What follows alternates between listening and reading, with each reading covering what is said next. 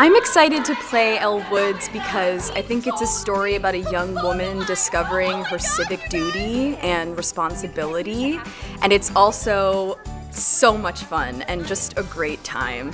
What surprises people most is that on the surface, this show is very fluffy and very pink, and she's, you know, super bubbly but she's not dumb, and a lot of people might think that she is, but she's actually incredibly tenacious, incredibly bright. Harvard Law, what? Like it's hard?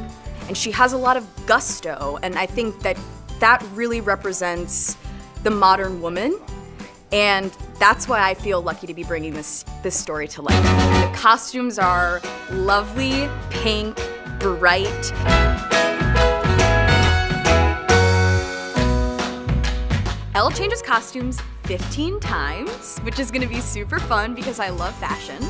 Meeting Bruiser was so exciting. I think Bruiser might steal this show. Oh my god, you guys, come see our show. Do it for love!